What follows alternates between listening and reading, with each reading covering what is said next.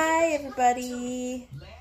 Just doing a quick video update with my littlest love and my other littlest biggest love.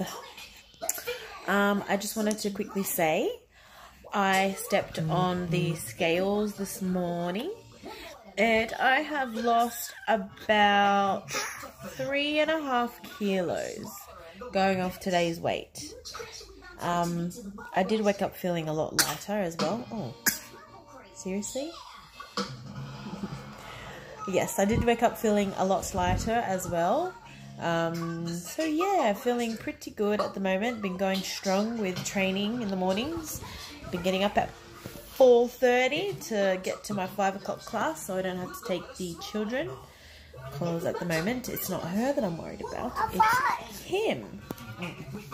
He's the one that will run amok at the gym if I have to bring him with me. And I'm just not mentally prepared for that just yet. I'd rather enjoy my workouts.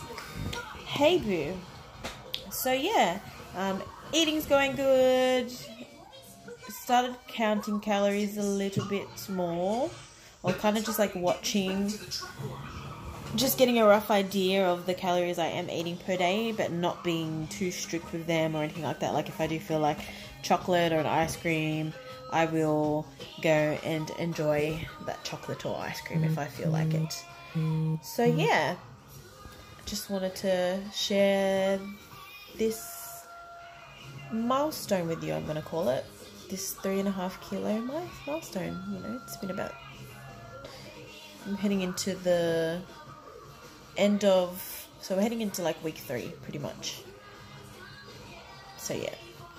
Anyways i also i saw i took um some photos some before photos not after photos just yet. And i did look at them in disgust but at the same time i know i will hopefully get back to my second pre-baby weight. Bless you you all good? But anyways, have a lovely night for those people in Australia.